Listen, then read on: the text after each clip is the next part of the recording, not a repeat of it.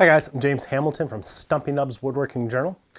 And before I buy anything these days, I usually look for reviews online.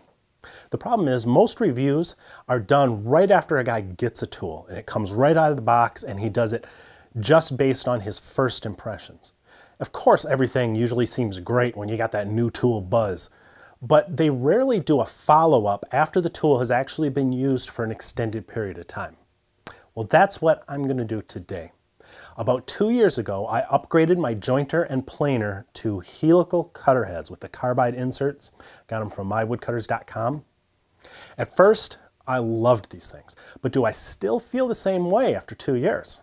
Before you spend your good money on a similar upgrade, you should watch this. About a year ago, after I had had my cutter heads for about a year, we made a tutorial video that gave you all the pros and the cons in detail of helical cutter heads. So I'm not going to waste your time rehashing all of that same information. If you want that full discussion, and you're going to learn a lot from that video, I'll put a link to it in the notes below this one. Just click on show more below if you're on YouTube. Today though, let's just quickly go through the main points. No BS, I'll just tell you if I still feel the same way after all this time. And here's a hint, I don't feel the same way on all of them. Spiral cutter heads change the way your machines cut entirely because rather than a long straight knife striking the surface repeatedly, you have many small cutters that are shearing at an angle. After two years, I can say I have never experienced any tear out on my cutter head, which is remarkable because I got it all the time with my old straight high-speed steel knives, especially if I misread the grain and I fed the board through in the wrong direction.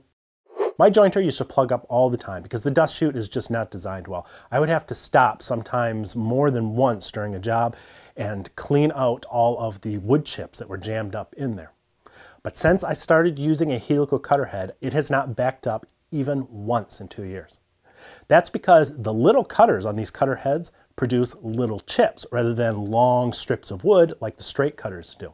And little chips are much easier for your dust collection system to suck up. That may sound like an insignificant thing, but let me tell you, it has not been insignificant for me. It has made my work a lot less frustrating. In that more comprehensive video we made a while back, I explained why helical cutter heads are quieter, maybe as much as 50%. Now, after two years of using it, I, I'm going to say that I don't consider that to be a major factor. My jointer is reasonably quiet. My planer, though, is the most noisy, obnoxious machine in my entire shop. It always has been. It's just the nature of those brush style motors and having a helical cutter head on it probably has lowered it a little bit, but it's still just ridiculously loud. So I don't consider that in itself to be a really good reason to go out and buy the cutter heads. I've always hated changing the knives on my jointer. It was always an enormous hassle, even with the best jigs on the market. Of course, you don't have to do that with helical cutter heads because you just rotate the cutter. And so for the last two years, not having to mess with those jigs and those old knives, that has been reason enough to invest in these things. It has just been awesome, a major factor in how pleased I am with the purchase. Another thing we previously considered in detail in that video was how a helical cutter head requires more power than a standard one because of how the cutters are constantly in contact with the wood.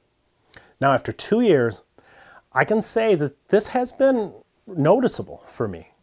I have to take shallower cuts than I did with my straight knives. It hasn't been a big deal unless I have a lot of lumber to mill. In that case, it does add some extra time to my process. This wouldn't be a problem at all if I had a bigger, more professional grade machine, but I have small shop machines like a lot of you have. And so it's going to add to your time if you are milling a lot of wood, but if you're just milling two or three boards, not a big deal at all. I admit helical cutter heads are expensive upgrades, but that pain fades quickly, I found, as you start using what will be a totally transformed machine. Seriously, there is no comparison to how the machine works with these cutter heads compared to how they worked when it was even brand new out of the box. And in time, they begin to pay for themselves. Consider this. In two years, I still have not had to rotate the cutters on either one of my heads yet. Now, I don't use these machines heavily, probably about as much as the average weekend woodworker would use theirs. And since each of the cutters has four sides, That means I'm going to get nearly a decade of use out of one set of cutters. Now, how many times have you replaced your high-speed steel knives in the last decade? Factor in not just the cost of the knives, but the hassle of aligning those stupid things on your jointer. After our original video, I got comments from people saying that they sharpen their knives, so replacement costs weren't a big deal for them. Maybe that's true in your case. But how many times have you gotten a nick on a freshly sharpened high-speed steel knife right after you started using it again? That is the most frustrating thing, even worse than the dust collection clogging up like I was talking about before. With the helical cutter head, it just takes a minute to fix it. You just rotate the one cutter that has the nick in it, and you're good to go. You don't have to take your knives back out and change them or resharpen them, or what is most likely if you have high-speed steel knives, you're just going to live with that nick in there for a few months until you take them out to change them or to resharpen them again. H having the ability to eliminate that nick without the hassle or the expense has been a enormous game changer for me. I am really glad for that. But the biggest factor is just the performance. The cut quality was amazing when I first installed my helical heads, and two years later, the cut quality is still amazing. I get better dust collection, my machines are a little bit quieter, especially the jointer, and I haven't had to cuss and swear my way through a knife change in all that time. So if you're ready for an upgrade, I highly recommend it. And I also really recommend that you get yours from mywoodcutters.com. That's a dealer. They sell the same Byrd Shelix cutter heads that everyone else on YouTube is just raving about these days. It's the same things, they get them right from Byrd. and the last time I looked, they were cheaper at mywoodcutters.com than they were anywhere else. Besides, you can chat with Stefan, who's a great guy and will give you service that you're simply not gonna get anywhere else. I don't get a kickback if you do buy from him.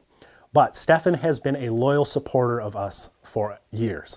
And I hope that you'll thank him by getting your cutter from him and, you know, getting better service and saving some too. So that's our two-year follow-up. And I can still say that upgrading my jointer and planer to helical cutter heads was one of the best decisions I have ever made. For more great tips, tricks, and tutorials designed to make you a better woodworker, check out Stumpy Nubs Woodworking Journal. You can read and subscribe for free at stumpynubs.com.